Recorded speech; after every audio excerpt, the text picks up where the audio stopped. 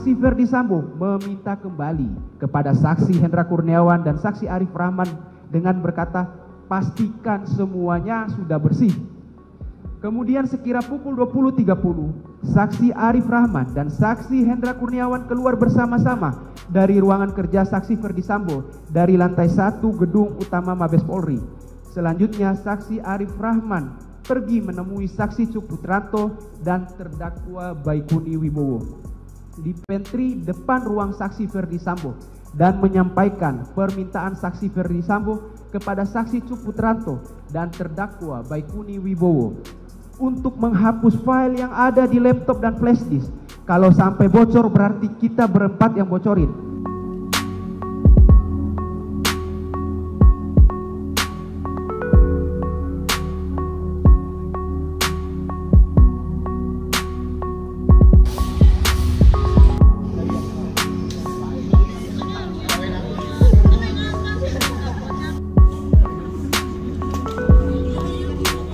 Terdakwa Baikuni Wibowo yang semakin yakin bahwa apa yang disuruh oleh saksi Ferdi Sambo adalah yang tanpa hak dan melawan hukum pun kembali berkata, yakin bang. Saksi Arif Rahman menjawab, perintah kadif, saksinya Karo Paminal.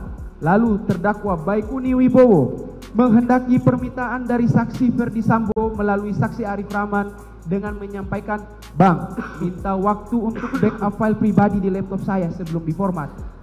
Sekalipun ancaman kata-kata dari saksi Ferdi Sambo yang mengatakan kalau sampai bocor terkait isi DVR CCTV yang telah dilihat oleh terdakwa Baikuni Wibowo maupun yang lainnya, seharusnya terdakwa Baikuni Wibowo mengambil langkah dan tidak perlu menghiraukan ucapan saksi Ferdi Sambo tersebut mengingat menghapus file yang ada di laptop dan flash disk bagian dari petunjuk terjadinya tindak pidana matinya Noviansa Yosua Huta Barat.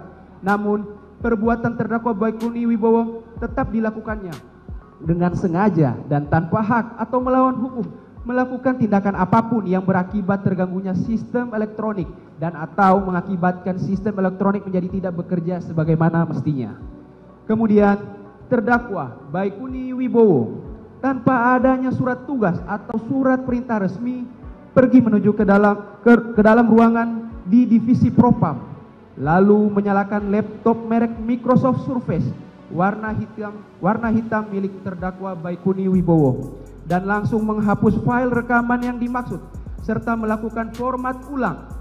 Namun terdak namun sebelum terdakwa Baikuni Wibowo memformat laptop milik terdakwa tersebut, terdakwa Baikuni Wibowo melakukan backup file dari laptop merek Microsoft Surface warna hitam milik terdakwa tersebut ke dalam hard disk eksternal warna hitam merek WD kapasitas 1 terabyte setelah melakukan format laptop dan menghapus rekaman tersebut.